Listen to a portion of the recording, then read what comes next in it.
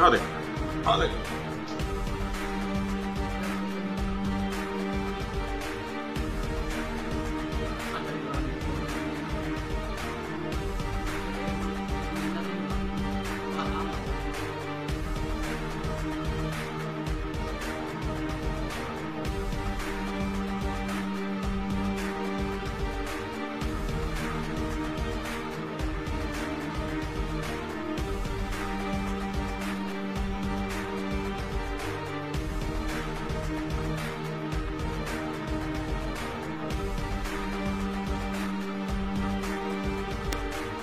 ਇੱਕ ਮੋਟਰਸਾਈਕਲ ਤੇ ਆਇਆ ਪਹਿਲਾਂ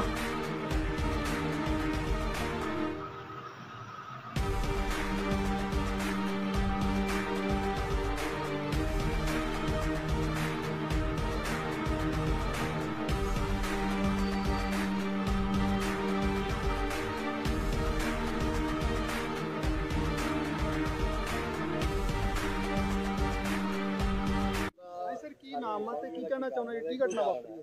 ਇਹ ਮੇਰਾ ਨਾਮ ਹੈ ਟੈਲ ਸਿੰਘ ਬੁੱਟਰ ਤੇ ਅਸੀਂ ਇੱਥੋਂ ਦੇ ਐਮਸੀ ਹੈ ਮੇਰੀ ਵਾਈਫ ਐਮਸੀ 15 ਨੰਬਰ ਵਾਰਡ ਦੇ ਵਿੱਚ ਪੈਂਦਾ, ਗਲੀ ਨੰਬਰ ਇਹ 22 ਆ, ਭਾਗੋ ਰੋਡ।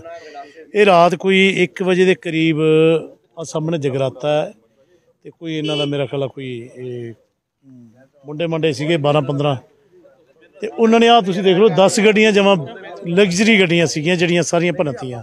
ਰਾੜਾਂ ਨਾਲ ਗੰਡਾਸਿਆਂ ਨਾਲ ਵੀ ਅਸੀਂ ਪ੍ਰਸ਼ਾਸਨ ਨੂੰ ਬੇਨਤੀ ਕਰਦੇ ਹਾਂ ਕਿ ਇਹਦੇ ਜ਼ਰੂਰ ਇਹਦੀ ਇਨਕੁਆਇਰੀ ਕਰਾਉਣੀ ਚਾਹੀਦੀ ਆ, ਕਿਉਂਕਿ ਲੋਕਾਂ ਦੇ ਹਥਿਆਰ ਵੀ ਜਮ੍ਹਾਂ ਕੀਤੇ ਹੋਏ ਨੇ ਤੇ ਮਾਹੌਲ ਹੈ ਜਿਹੜਾ, ਉਹ ਡਰ ਵਾਲਾ ਬਣਿਆ ਹੋਇਆ ਹੈ।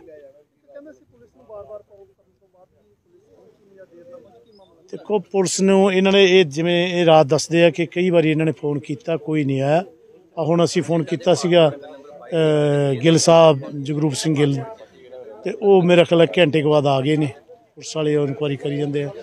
ਪਰ ਇਹਨਾਂ ਨੂੰ ਤਹਿ ਤੱਕ ਜਾਣਾ ਚਾਹੀਦਾ, ਅਸੀਂ ਬੇਨਤੀ ਇਹ ਕਰਦੇ ਹਾਂ ਕਿ ਕੀ ਕਾਰਨ ਹੈ ਇਹਦੇ ਪਿੱਛੇ? ਇੰਨਾ, ਇੰਨੀ ਇੰਨਾ ਗੁੱਸਾ, ਇਹ ਗੁੱਸਾ ਕਿਤੇ ਨਾ ਕਿਤੇ ਮੈਨੂੰ ਲੱਗ ਰਿਹਾ ਵੀ ਕੋਈ ਸ਼ਰਾਰਤ ਹੈ ਪਿੱਛੇ, ਵੱਡੀ ਕੋਈ, ਚਾਲ ਹੈ ਕੋਈ, ਕਿ ਲੋਕਾਂ ਨੂੰ ਡਰਾਇਆ ਜਾ ਰਿਹਾ ਹੈਗਾ।